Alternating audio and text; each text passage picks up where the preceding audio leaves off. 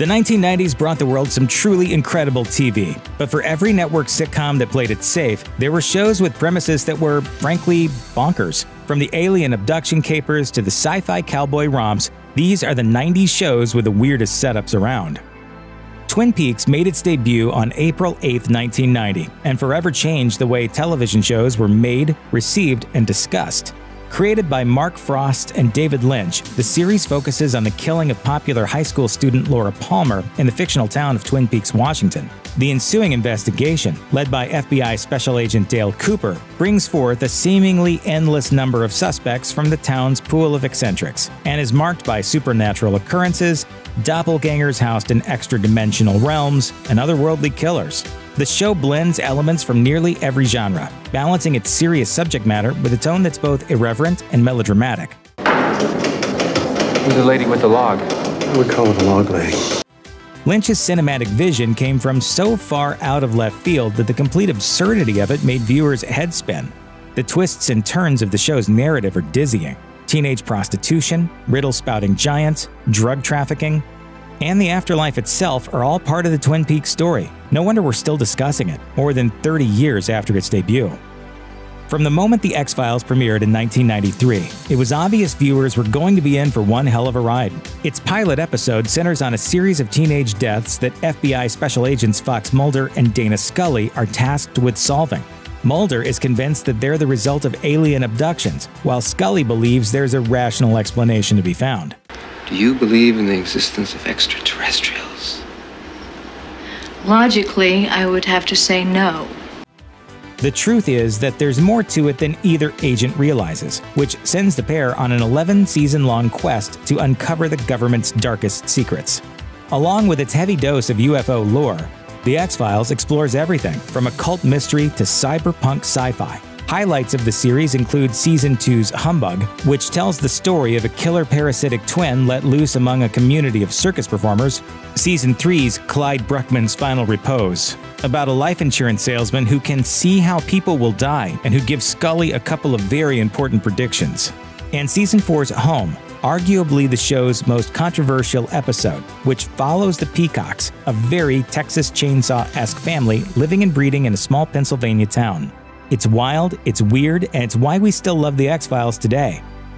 In the spring of 1989, television audiences were blessed with the glorious seaside camp fest that was Baywatch.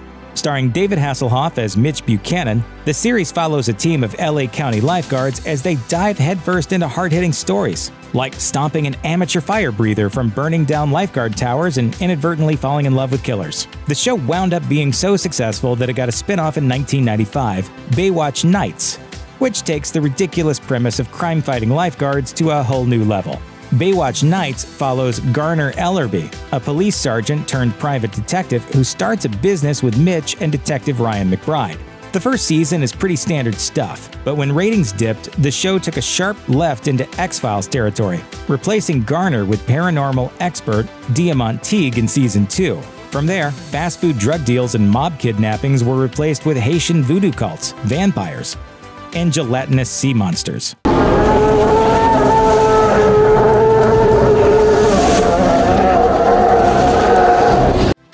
The Supernatural update did little to solve the show's viewership issues, though, and it was cancelled after its sophomore season. Photojournalist Thomas Vale's life is turned upside down when, in the middle of a romantic dinner with his wife, he returns from the bathroom to find that his entire existence has been erased. His wife is gone, his best friend is dead, and there's someone else living in his house. Nowhere Man follows Thomas's quest to uncover the truth of his stolen identity, which traces back to a secret government organization and a photograph he took of four U.S. soldiers being hanged in South America. Everything they give you, they can take back. Everything you thought you had, you don't. Absolute zero, gentle Jack. Bottom line. It ran for one season before it was canceled. The series plays out much like 1963's The Fugitive, in that Thomas travels from city to city in search for clues about the organization, picking up odd jobs to fly under the radar while he gets closer to the truth. Along the way, he comes into contact with a string of strange characters, including a 10 year old blind psychic, a UFO enthusiast, and several actors hired by the organization to bring Thomas in. Ultimately, the truth behind the organization and Thomas's lost identity leaves him with more questions than answers. But with the show's early cancellation, audiences were never given the opportunity to delve any deeper. Mantis's pilot episode is vastly different from the series that follows. It begins as the story of one of the first black superheroes on TV, Dr. Miles Hawkins, a biophysicist who becomes paralyzed after being shot by a police sniper during a riot. He develops an exoskeleton that offers him mobility and more, the mechanically augmented neurotransmitter interactive system, and, rather reluctantly, sets out on a mission to fight crime and corruption. Before the series went to air, however, serious changes were made, including the replacement of its diverse cast with one that featured only two people of color outside the show's main character. Plot points that focused heavily on racial issues were changed in favor of fantasy elements like parallel universes and time travel. The series finale involves an invisible dinosaur frozen in a glacier.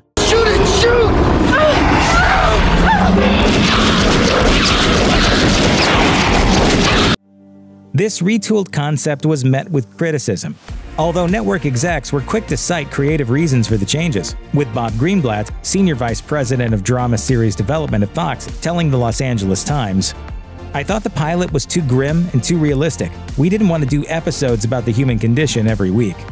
So instead, audiences got genetically altered jellyfish people.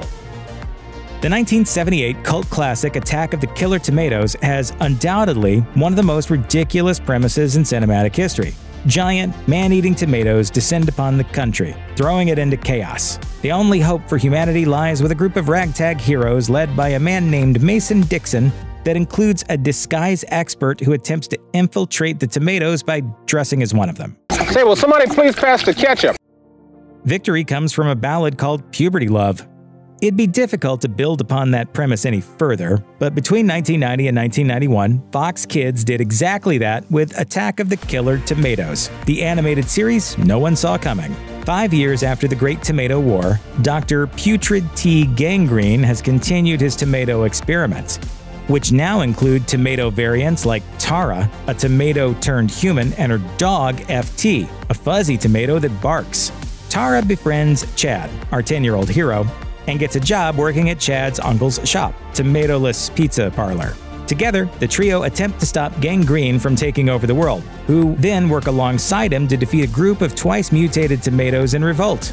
It's just as weird as it sounds, but still not the weirdest thing that 90s kids were exposed to. Executively produced by Sam Raimi, American Gothic is a horror drama that ran on CBS for one season between 1995 and 1996. It tells the story of Caleb Temple, a young boy in the fictional town of Trinity, South Carolina, who comes to find out he's the son of the literal devil, who rules over the town by posing as its friendly sheriff, Lucas Buck. After Lucas kills Caleb's entire family, he sets about grooming him to take over the throne. Only two roads in this world, and if you're listening to anyone but me, you're on the wrong one but he stopped with the help of Trinity's newest transplant, Dr. Matt Crower, Caleb's cousin Gail, and the ghost of his sister, Merlyn. That plot is strange enough as it is, but CBS pulled a firefly with the series and aired the season out of order, cutting four episodes completely from its original run. As a result, some key moments wound up being omitted from the story, including the one in which Gail uncovers the truth behind her parents' mysterious deaths, and another in which Lucas enlists the help of the Boston Stranglers ghost to deal with Merlyn. On the planet Luminaire, the forces of good and evil fight for control of the powerful light star crystal. On one side is Baron Dark, whose success in capturing one half of the crystal has turned him into a living skeleton with the ability to change others into skeletons for his army. On the other side is Prince Lightstar and his family, who've managed to hold on to the other half of the Light Star crystal, which has imbued each of them with fantastic and decidedly less skeletonly powers. I have the power to terrify small children and stray dogs. Skeleton Warriors ran for only 13 episodes on CBS between 1994 and 1995. Things change on a dime in Luminaire. One week, Baron Dark would have the upper hand, then the next week, it would belong to Prince Lightstar. The show ends with Baron Dark's defeat and the destruction of the Light Star crystal entirely. While the story never evolves beyond the power struggle at its core, it did spawn its very own toy line, a Marvel comic series, and a video game proving that it didn't take much to keep 90s kids entertained, given a cool enough aesthetic. Skeleton Warriors exists today as an artifact from a bizarre time in animation, part misty fantasy, part steely sci fi, part death metal t shirt.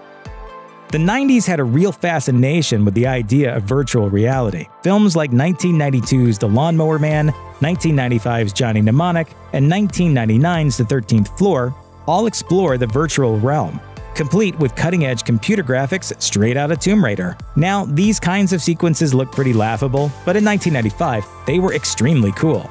VR5 is the embodiment of that trend, from its dramatic shots of people typing to its cyberpunk visors. The show follows Sydney Bloom, a line worker for a telephone company who dabbles in virtual reality in her off time. When she accidentally discovers that she has the ability to tap into others' subconscious through her own VR world, Sydney becomes the target of the committee, a secret organization that may have actually been behind her family's death years prior. Welcome to the game, Sydney Bloom. VR5 didn't last long, only 13 episodes total, with three of them not airing at all during the show's run on Fox. But in those 13 episodes, audiences were treated to implanted memories, mirror worlds, and a whole lot of bad CG. Wild West Cowboys of Moo Mesa ran on ABC for two seasons between 1992 and 1993. Like most animated kids shows at the time, the series premise is completely bonkers. When a mysterious comet hits the southwest sometime during the 19th century, it forms a mesa high in the clouds where its inhabitants become cowmatized, mutating into a race of cow people whose way of life is strikingly similar to the regular human cowboys that exist below.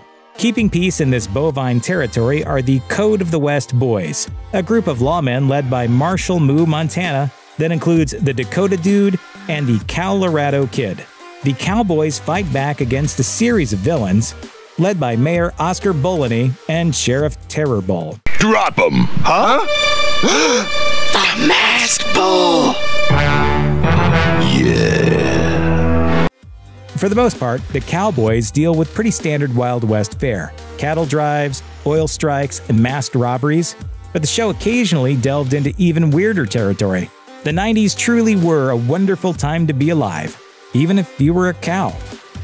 Check out one of our newest videos right here. Plus, even more Looper videos about your favorite 90s stuff are coming soon. Subscribe to our YouTube channel and hit the bell so you don't miss a single one.